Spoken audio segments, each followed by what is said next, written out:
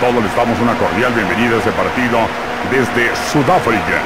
Estamos en los cuartos de final de esta competencia, con los ocho equipos que quedan, ofrecen toda clase de probabilidades. Qué torneo tan parejo, mi querido Richard. Ni a cuál irle.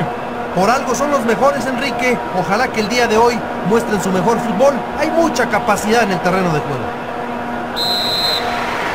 Aficionados que viven la intensidad del fútbol. Torres, enorme oportunidad.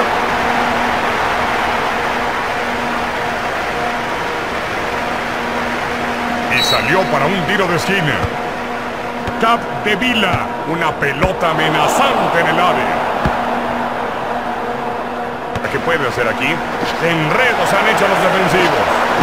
Le quitó el balón de una forma excepcional. ¡Ah! En su propia portería.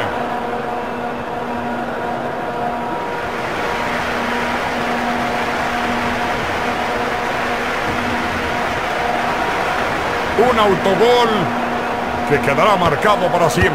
¿Andaría sonámbulo? Cap de Vila. A la mitad del partido vamos 1 a 0. Pues podemos decir, Enrique, que en esta primera parte se ha jugado muchísimo tiempo en el medio campo, pocas incursiones al área, por eso es que casi no han aparecido los porteros. Y este.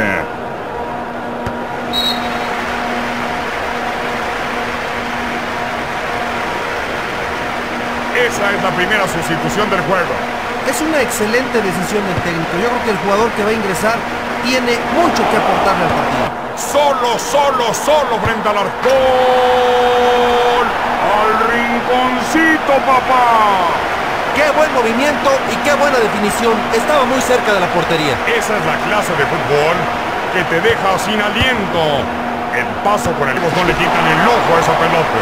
Se concede un tiro libre por esa dura entrada. Esta es una buena oportunidad. Ah, el portero se queda tranquilo. Muy desviado, pero se agradece el intento. Pues sí, es una pena, el disparo sale desviado, pero el que estuvo muy bien sin duda fue el árbitro que otorga la ley de la ventaja. Y ahora sangre nueva por el hombre que es sustituido. Yo creo, Enrique, que es una buena decisión del técnico.